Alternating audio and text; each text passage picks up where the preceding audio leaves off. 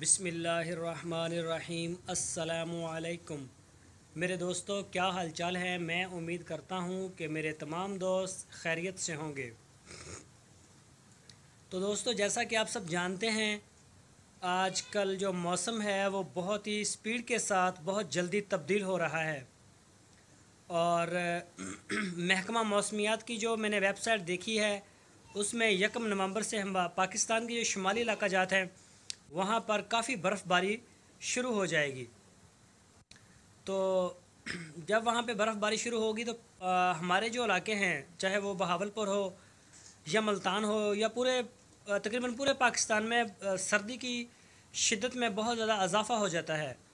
تو دوستو، جن ہمارے دوستوں کے شیڈ جو ہیں وہ اوپن ہیں، وہ پردوں کا بندوبست کر لیں، بلکہ ان کو اپنے ساتھ جو ہے وہ لٹکا دیں، تاکہ جب بھی ان کو ضرورت پڑے یا ٹھنڈی ہوائیں چلیں یا کوئی بارش کا چانس بنتا ہے تو فوراً آپ کے جو جانوروں کو وہ آپ محفوظ کر سکیں۔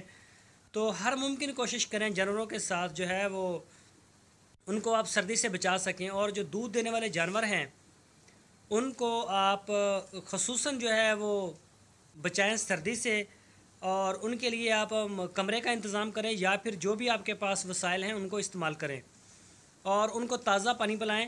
جو رات کا یا پھر دیر کا کھڑا ہوا پانی بالکل ان کو نہ پلایا جائے، تاکہ جو جانور ہیں، ان کو، ان کے دودھ میں کمی نہ آ جائے اور جو ڈلیوری کے قریب ہیں بکریاں یا گائے، بھینس وغیرہ، ان کو آپ خاص کر جو ہے وہ صحیح جگہ پہ رکھیں۔ آج کل بے شک آپ انہیں، اگر آپ کے پاس کوئی کمرہ وغیرہ ہے تو اس میں باندھ دیں تاکہ ان کو جو ہے وہ سردی زیادہ محسوس ہوتی ہے، وہ اس چیز سے بچ سکیں، بیمار نہ ہو جائیں۔